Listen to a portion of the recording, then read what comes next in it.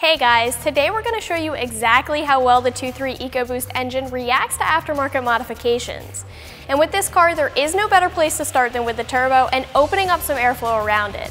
So we're going to throw in a new exhaust system from the turbo back, along with a cold air intake, and we'll wrap it all up with a custom tune to dial it all in and push some more boost. This EcoBoost was still working with the factory airbox when it came to us, so one of the first things that we did here is swap that out. It's worth mentioning that the factory airbox for the S550 isn't a bad intake setup. It's pretty efficient and functions well, but as you start to mod the car, it'll become restrictive, and that's something that we wanted to make sure that we didn't encounter. And so we chose the C&L intake, because if you're looking for performance gains, it has one of the best designs on the market. The key to this design is going to be this airbox. It's an enclosed airbox, one of the only on the market, and it has a removable lid so you can get to your filter easily. The enclosed airbox is also going to protect the filter from elements within inside the engine compartment, and more importantly, it's going to help keep warm air from inside the compartment from being used by the intake. And this is a technique that works. We saw some low intake air temps on the dyno, and this leads me to another cool thing about the housing, and that's that it taps into the factory cold air duct, which brings cool air in from the grill instead of using warm engine compartment air. This is a really nice feature in my opinion, and it gives this intake a benefit that you don't see from many other aftermarket intakes for the S550 EcoBoost. A few other real quick notes about this intake. It's got a classic reusable air filter and can be cleaned and reinstalled, and it's also got a nice sized intake tube, which is important if you're looking for the most gains possible. Any gains over the stock setup are going to be coming from the intakes with larger filters and intake tubes. Of course, that's not all we did with the car, but we've got to get the car in the air to show you where we did some of the more serious modding. In the world of turbos, one of the first and most beneficial power mods that you can do is get a new downpipe, so that's exactly what we did. The factory downpipe on the EcoBoost is pretty restrictive, so this downpipe is going to be for those people that are looking for less restriction, which ultimately means some improvements in performance. An aftermarket downpipe can offer a big improvement in performance because it helps the airflow of the turbo, where you pretty much want things as unrestricted as possible, so you can spool the turbo more quickly, which is where your gains will come from. Two big things about this downpipe. It's a 3-inch downpipe, which is an upgrade over the stock downpipe, and it's one of the only 3-inch downpipes that are available right now. The other thing is this is a catless or off-road downpipe, so we're talking even less restriction. It's a stainless steel downpipe as well, and another great thing about this downpipe is that it gives you an option when it comes to the rest of your exhaust. Borla includes an adapter for this downpipe, so you can still use the stock exhaust if you want, but of course we didn't want to do that here. The catback we've got on here today is the Borla ATAK catback, and that's actually a two and a quarter inch system. And one thing I will say is that it's great to see a 3-inch downpipe that'll still work with a 2 and a quarter inch system because you can still get the max benefits from the 3-inch downpipe.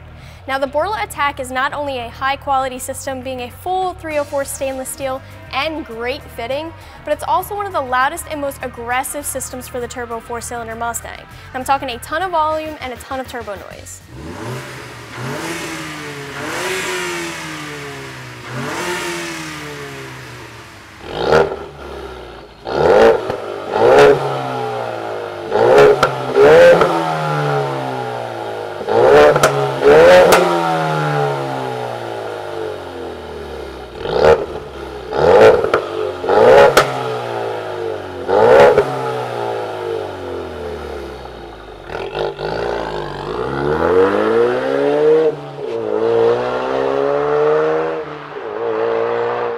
Now all of these exhaust mods definitely made a huge difference in sound, even that downpipe. Even though the main idea behind an aftermarket downpipe is to help give the turbo unhindered airflow, an aftermarket downpipe is also going to give you more sound too. And since this particular downpipe is an off-road or uncatted downpipe, you can expect an even louder result, like the sound you just heard. So while the combo of these mods makes for a beastly sounding turbo four cylinder, I'd actually like to see what exactly it all equates to on the dyno and what we're looking at in terms of power and torque gains. But before we do that, we need one more thing that's going to tie all of this together for us, and that's going to be a Cobb Accessport. We went with the Cobb Accessport for the fast downloads and the on-the-fly adjustability that it offers, but enough about parts, let's get this thing on the dyno. Of course, we ran the car before installing any mods so we could have some baseline numbers to compare to, and that baseline run gave us numbers of 245 horsepower and 277 foot-pounds of torque at the rear wheels. With all of our parts installed and with the Cobb Accessport tune, the car made 311 horsepower and 360 foot-pounds of torque, making for a peak gain of 66 horsepower and 83 foot-pounds of torque. As with any dyno result, peak gains are always nice to know, but the real thing I look for is differences throughout the curve.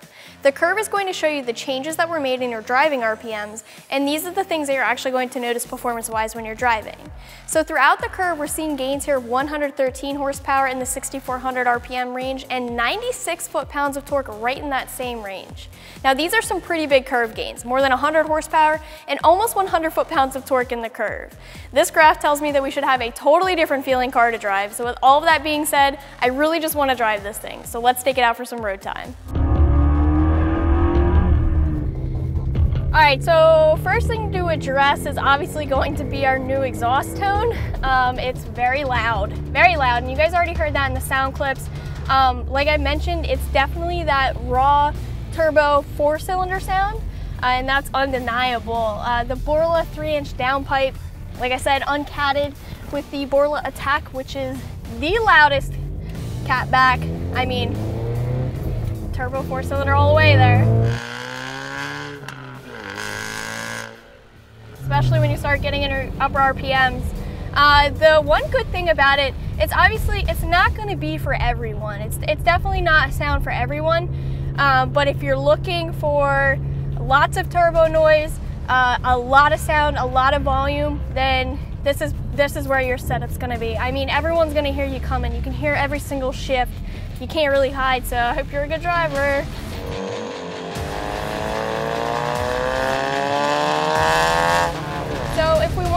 Test out drone at cruising RPMs. I mean, we're just over 2,000 RPM right now. We're at like 22.5. We're not quite at 2,500 yet. You can definitely hear that there's an aftermarket system on this car, but when you're driving down the highway, I wouldn't say that this is anything that your eardrums are gonna be bleeding. You're not gonna be terribly upset at the end of a long trip with this car.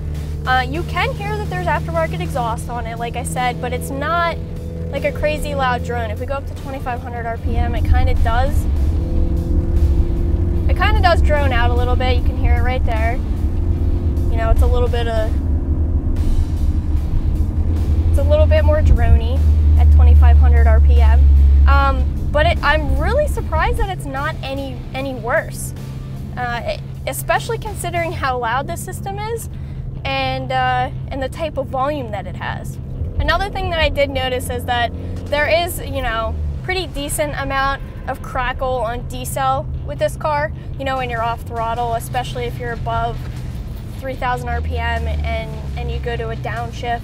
There's a little bit of popping. Um, for people that are looking for that, it's actually a nice feature. It just adds a little bit something more to the system. One thing that I'm really interested to see and I'm really happy about is the tune. I mean, this tune had great results, uh, a ton of power and a ton of torque gains onto the curb. Um, and I can feel a huge difference already in the car. It's one of the most exciting things. I mean, you, you buy a couple mods, you spend a little bit of money, and you get a tuner in. It ties everything together. It's just so much of a difference in drivability in this car. I mean, from factory, after 5,000 RPM, this thing just fell on its face.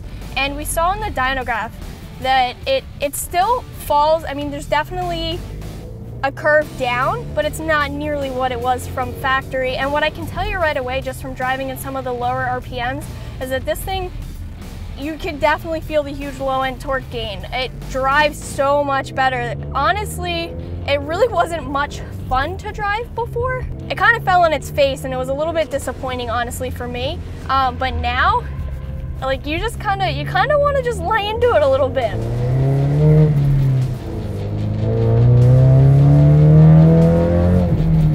Yeah, you can definitely hear turbo spool from inside the car, especially in the lower RPMs. You kind of lose it a little bit from inside the car because the system's just so loud. And even just laying into the car, like that was a little test right there, just laying into the car from lower RPMs and seeing how, how it goes through the RPMs, that's a test of the tune. And that felt great to me. I mean, the car just pulled, like 2500 right now, lay into it. It actually sits you back in the seat a little bit, which was something that it definitely didn't do before. So it's definitely a little bit more fun to drive. Even at idle, this thing's a lot louder. I mean, it's just louder all the way around.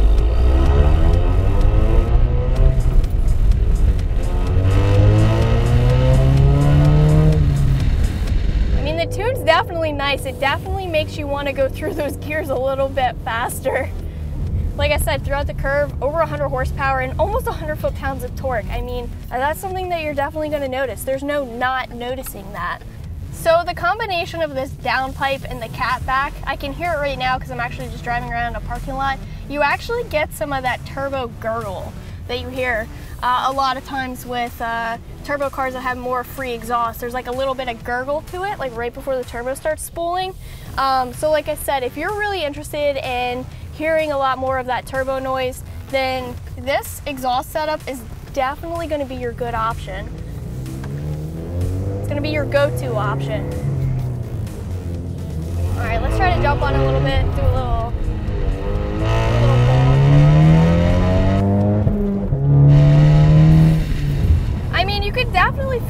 5,000 RPM. There is a little drop off, but to be completely honest with you, the car does pull before it starts to hit that drop off. I mean, you can feel the turbo going to work. Uh, it drives a whole lot better overall. So this definitely isn't a sound or a setup that's going to be for everyone out there on the market. I mean, it's loud, uh, it's definitely in your face, uh, and it's definitely that raw turbo four cylinder sound.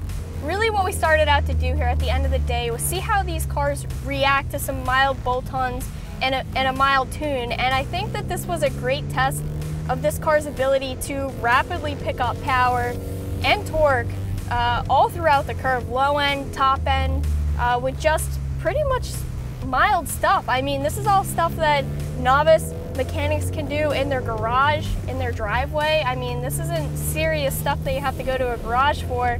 So I think ultimately at the end of the day, it's great to see that these cars respond so well to just a few mods that really only take a few hours to do, and you get a great fun result.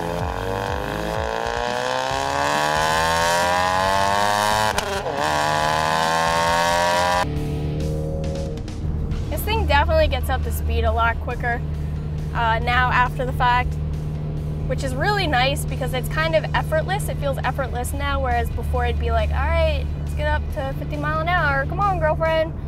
But now it's pretty effortless and it's actually, it's great. All right, so that's gonna wrap up this EcoBoost build. Overall, I'd say I'm really happy with all of the gains that we saw from a few minor bolt-on modifications paired with a tune. I hope you guys enjoyed the video, and as always, for all things Mustang, keep it right here at AmericanMuscle.com.